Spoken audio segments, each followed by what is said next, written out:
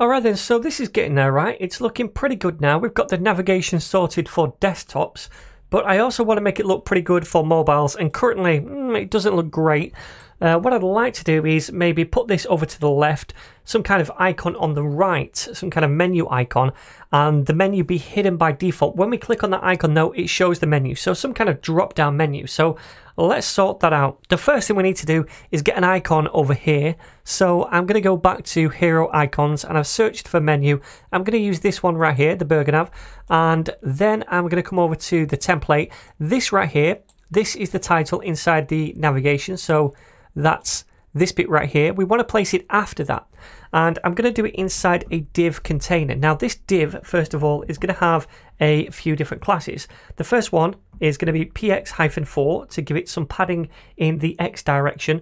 Also cursor hyphen pointer, so we get that little finger over the icon when we hover over it. And then also, I want to say that for larger screens, we don't show it. Well, for medium sized screens and up, so the way we do that is by saying MD and then hidden. So this hidden class hides an element, but we're only hiding it for medium sized screens and up because we only want this to show on smaller screens, right? So inside there, I'm going to place this SVG. I'm going to save it and check it out.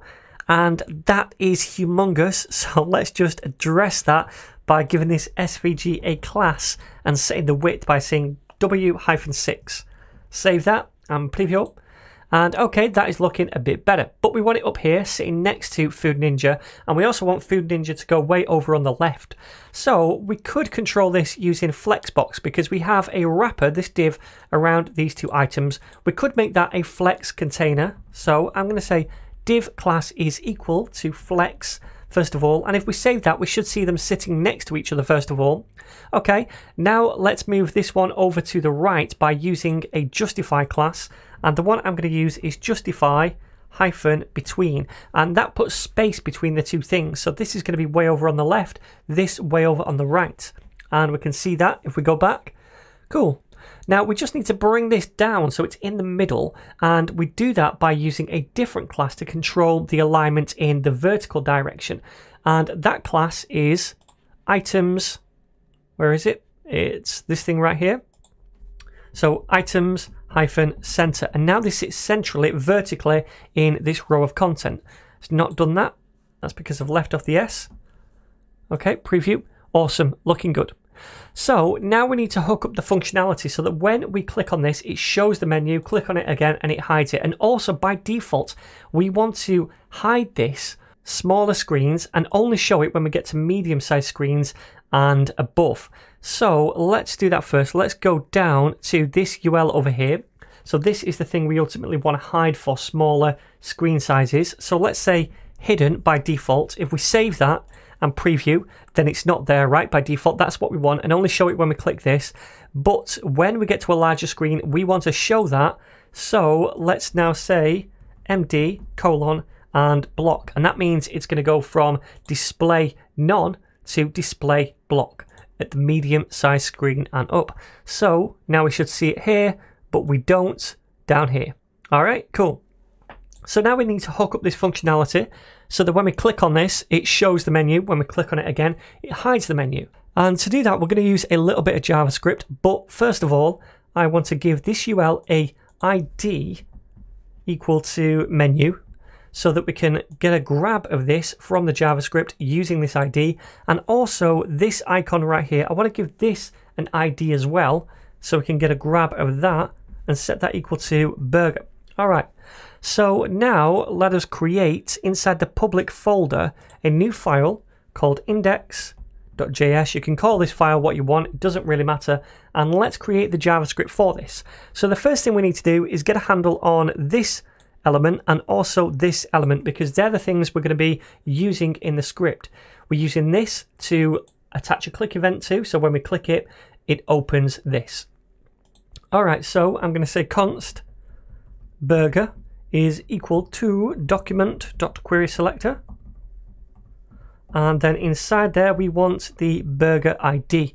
Awesome. Now let's do the next one. So const menu is equal to documents dot query selector and that is going to be menu Awesome, so we have those two now.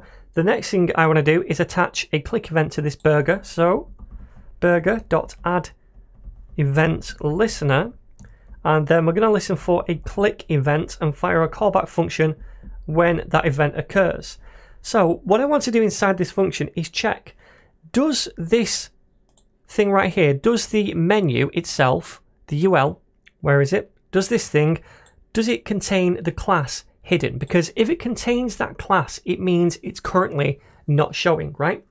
So if it does contain that class, I'm going to remove it because if we click on it, that icon, we want to show the menu. So we want to remove the hidden class. Now, if it doesn't contain that class, it means it's currently showing. And at that point, if we click on the icon, we want to hide the UL. So we want to apply this hidden class to it. So let's do that check over here. I'm going to say if and then menu dot class list dot contains and this is going to be hidden. So if it contains that hidden class, then I want to say menu dot class list dot remove and we want to remove that hidden class. Okay? Now, otherwise, if that's not the case, we want to add the class. So menu dot class list dot add to add hidden. All right, so I hope that makes sense. Whenever we click on the burger icon, if it's currently hidden, we're going to remove that hidden class so it shows. If it's not currently hidden, we're going to add that hidden class so it doesn't show. So save that and we need to link up to that in our HTML. So right at the bottom of the body over here, let's do that. So script and the source is index.js. Save that and check this out in a browser. And if we click this, it shows. If we click it again, it hides. Now, even though we're hidden over here, when we get to medium-sized screens, we show because we apply that class of block. So it's always going to show for larger screens, but when we get down here, it only shows when we remove that hidden class when we click on this.